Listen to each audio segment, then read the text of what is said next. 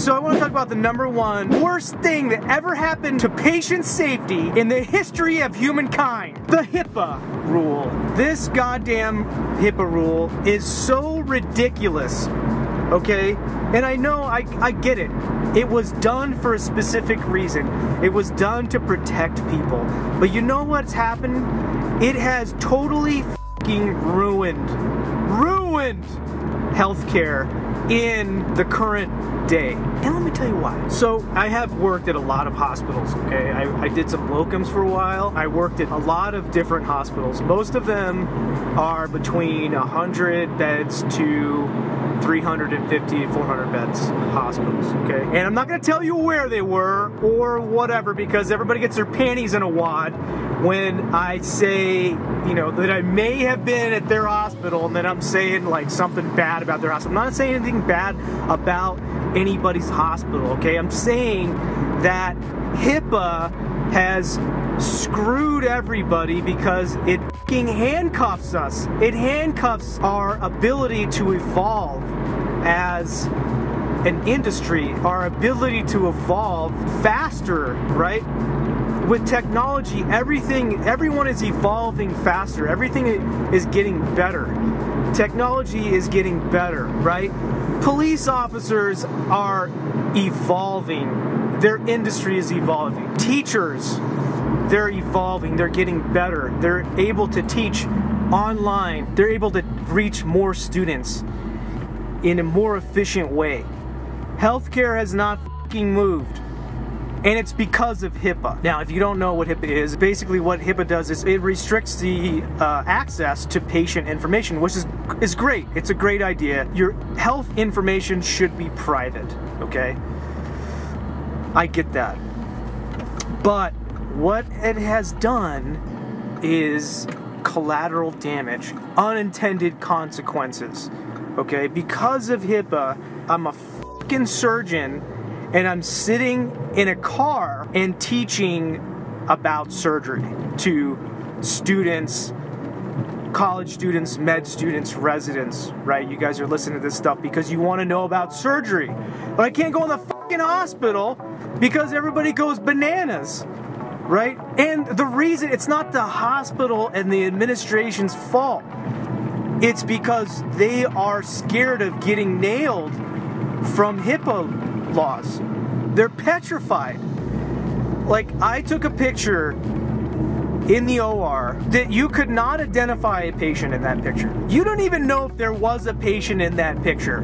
Like, for all we know, there was a fucking block of wood underneath an OR drape, and we were pretending to operate on that. There was nothing even remotely close that looked like a human being. But the administration went crazy and made me take the post down, which, by the way, went viral. Would have went super viral if I didn't um, take it down. But the reason they did that is because they are so scared of getting nailed by the government and or being sued by a patient for releasing private information, okay? So instead of the hospitals going like, okay, we have rules and we have these specific rules, they have rules that are like, here's the level of where the HIPAA is. The hospital rule is like off the charts.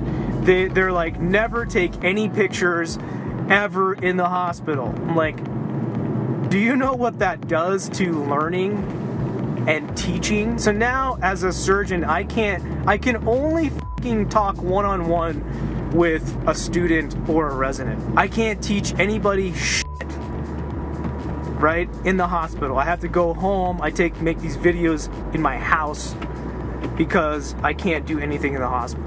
I have to make them in my car on the way to work because I can't go in the hospital and do these videos because not only now will I possibly be in trouble, every single person in the hospital thinks it's illegal what I'm doing, okay?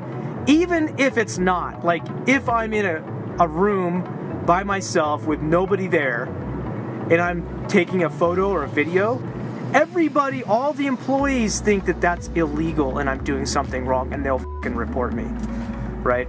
Because they don't know either because every they've everyone's gotten so scared of it Like nobody knows the rules. It's it's stupid. And I've taken classes like the American College of Surgeons has classes on social media and you know all this these the HIPAA rules and stuff like that. I am very aware of what I can and cannot do.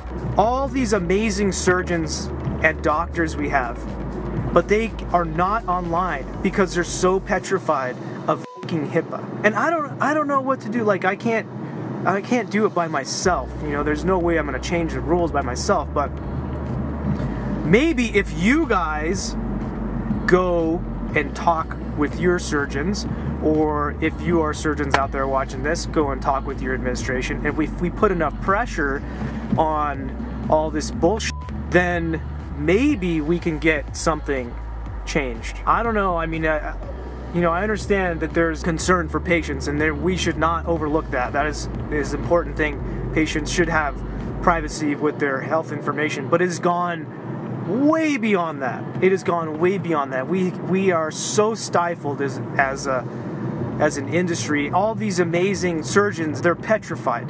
They don't want to do anything. No pictures, no fucking video, oh God, video, Jesus Christ. Pictures is one thing. If I try and take video in the hospital, there's no way. They'll lose their minds. And this is not just one hospital, okay? This I'm talking about all hospitals. And story I wanted to tell is that all these different hospitals I go to are reinventing the wheel, okay? It's ridiculous. Like every time I go to a, a different place that is they're all making new rules and stuff and like so for one example, a simple, simple example is there's a timeout. We call it a timeout before each operation. And what you do is you say, uh, okay, let's do our timeout now when you're about to start surgery. And you say, I'm Dr. Parker. This is patient John Smith. He's getting a laparoscopic cholecystectomy. He has his VTE prophylaxis in place and he got antibiotics. Does everybody agree? Or the and or then you go and talk to everybody around the room and say, my name is so and so. I'm the person. You know, I'm the anesthesiologist, uh, and I'm the scrub tech, and I'm the tech, and whoever. And so everyone introduces themselves. Okay, that's that that that became popular after a couple amputations were done on the wrong side. It, it sounds really bad, but it was like a guy got amputated. Both legs were so bad, they looked like they needed to be amputated. They went and amputated the wrong one. Well, he eventually got the other one amputated as well. So anyway, we do this timeout thingy at the beginning of all operations, which is fine. That's great. You want to do that. It's a national thing to do timeouts. Everyone's required to do it. And this hospital does it different than this hospital, does it different than this hospital, does it different than this hospital. You know why? Because there's no communication. It's the internet 2017. There's mass communication, the information highway. The information is not being connected to all these healthcare workers. And so everybody's in a silo, and everybody, when they get the paper, oh, well, this is a thing we have to do now from the administration. Well, I guess I guess we're the only ones. I don't know. I have no idea because I've never been on the internet because I can't. God damn. Like really? The surgery education is in this crisis, right?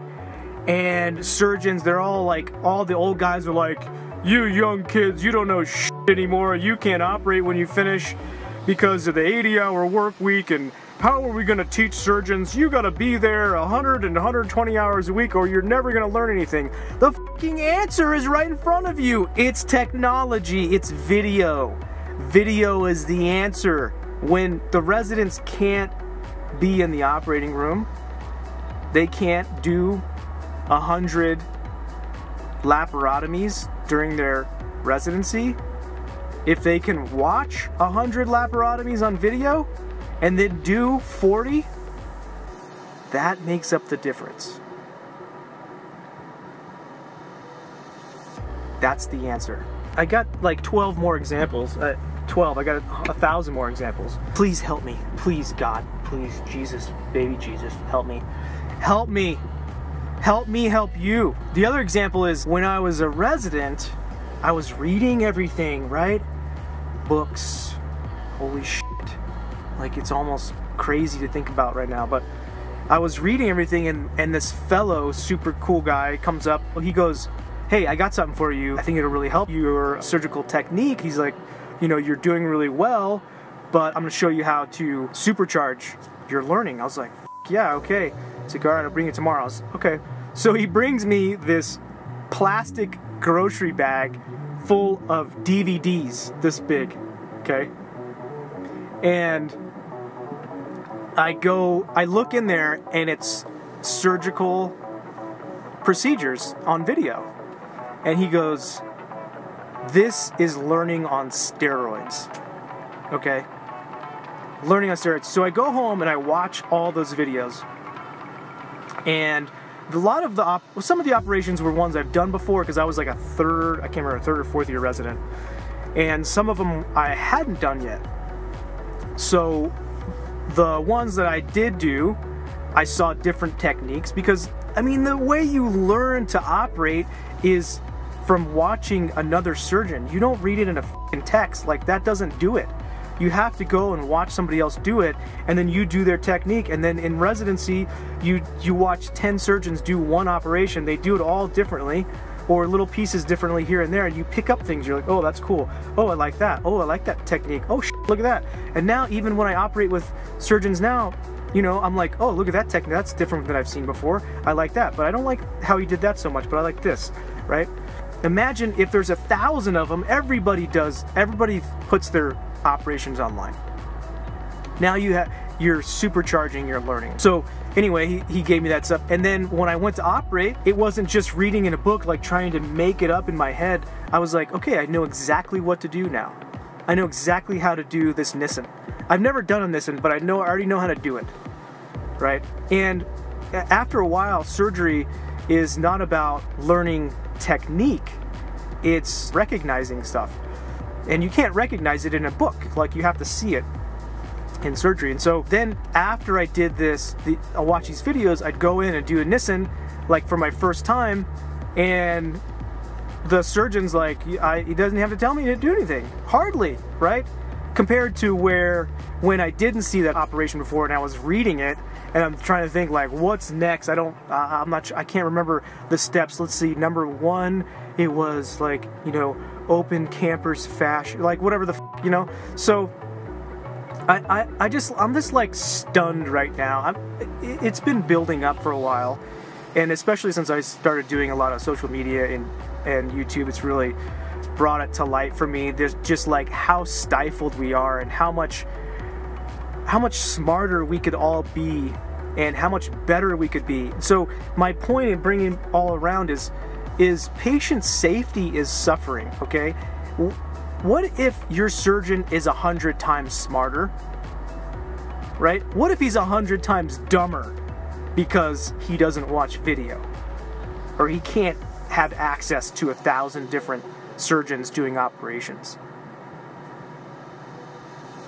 What if he's a hundred times dumber? Do you want that guy? Patient safety, worst thing ever to happen to patient safety HIPAA. Hey, subscribe, like, and comment. Oh, definitely comment. I know you guys are going to comment on this. Comment on this one. I want to hear what your thoughts are. And if you have any ideas how to fix it, that would be great too. So, hey, thank you guys very much for watching these videos. Take care.